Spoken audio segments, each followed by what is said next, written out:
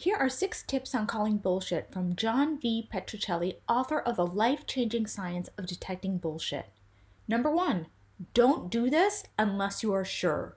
Number two, be considerate. Consider that you are confused. Let the person clarify their claims.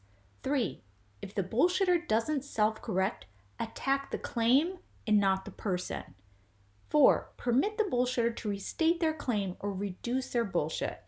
Number five, Treat bullshit like lies. It must have consequences. And six, don't think that providing evidence that they are wrong will be enough to convince them that they are bullshitting. Subscribe for more research backed tips on thinking critically.